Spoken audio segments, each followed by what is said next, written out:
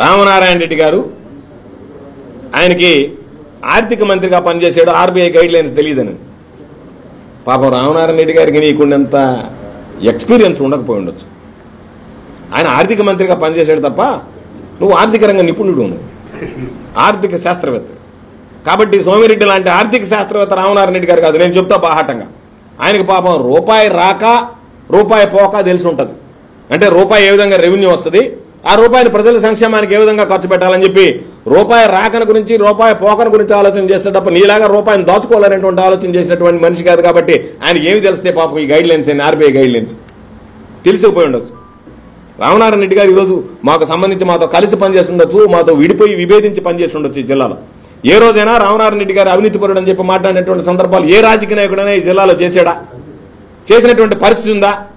ఆనం కుటుంబానికి ఆ చరిత్ర లేదు. నీకుంది ఆ చరిత్ర నిద్రలేస్తే అభివృద్ధి ముసుగులో అవినీతికి దోపిడీకి పాల్పడ్డటువంటి వ్యక్తి నువ్వు. కాబట్టి ఈరోజు నువ్వు రామనారాయణ రెడ్డి గారికి ఆర్బీఐ గైడ్లైన్స్ తెలియదు నాకు తెలుసు అంటే నీకెందుకు తెలియదు ఆర్బీఐ గైడ్లైన్స్ తెలుసు కాబట్టి కదా నువ్వు నీ కొడుకు తొమ్మిది డొల్ల కంపెనీలు దొంగ కంపెనీలు పెట్టి దోచుకున్నారు.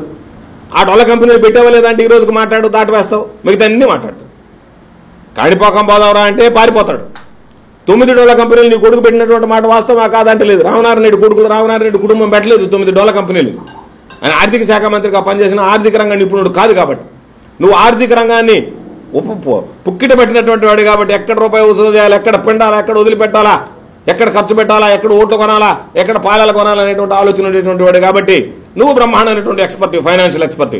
కాబట్టి నువ్వు మాట్లాడే ముందు నీ స్థాయిని గురించి ఆలోచన చేసుకో. ఈ వీడియో నచ్చితే ఓ లైక్ కొట్టండి. లేకపోతే కామెంట్ చేయండి. బట్ సబ్స్క్రైబ్ చేయడం మాత్రం మర్చిపోకండి.